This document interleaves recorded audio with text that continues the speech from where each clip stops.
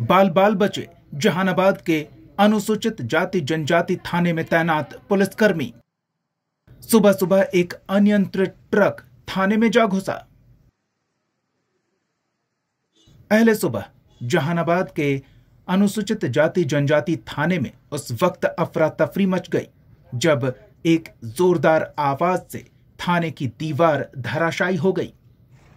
पुलिसकर्मियों ने जब इस जोरदार आवाज़ की वजह जानने की कोशिश की तो वो भी देखकर भौचक्के रह गए कि दीवार तोड़कर एक ट्रक थाने में आ घुसी है। गनीमत रही कि दीवार के सामने मौजूद बिजली के पोल में टक्कर मारने से ट्रक की गति धीमी पड़ गई, जिसकी वजह से दीवार में टकराकर ट्रक वहीं रुक गई।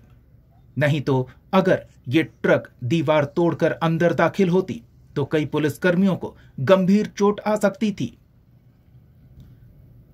टक्कर के बाद ट्रक का ड्राइवर और खलासी मौके से फरार हो गया। इधर पुलिसकर्मी छत्तीसगढ़ नंबर प्लेट की इस गाड़ी के मालिक की पहचान कर उसके खिलाफ कार्रवाई में जुट गए हैं। संभावना जताई जा रही है कि ट्रक का ड्राइवर या तो नशे में होगा या फिर उसे झपकी लग गई होगी। जिसकी वजह से मोड़ पर अनियंत्रित होकर ट्रक थाने की दीवार से आ टकराई जिसकी वजह से थाने की दीवार क्षतिग्रस्त हो गई। जहानाबाद न्यूज़ के लिए वीरभद्र सिन्हा, उर्फ़ गप्पू की रिपोर्ट। लगभग आया गया तरफ़ से और यहाँ तो लोग उस समय उपलब्ध भी नहीं थे, लोग अंदर में थे और आया पूरा तोड़ते हुए अंदर की ओर बढ़ते गया। गया और जा रहा था पटना की ओर जा रहा था। और हो सकता है या या तो नशा में हो रहा हो या फिर नींद में रहा हो। जो भी ऐसे यहाँ टर्निंग भी है टर्निंग को नहीं देख पाया हो पाया नहीं सीधा सीधे तोड़ते हुए आ गया वो तो वहाँ पर गोल है जिसके वजह से वहाँ स्टॉप भी हो पाया है नहीं तो पूरा अंदर में और भी क्षति करता। क्षति हो सकती थी। यहाँ अंदर में हमारे सिपाही लोग भी हैं। ड्राइवर वगैरह भाग गया? वहाँ गाड़ी का ड्राइवर वहाँ रुका नहीं वहाँ थोड़ा और निकल गया भाग गया। गाड़ी अभी हम लोग के अंडर में है।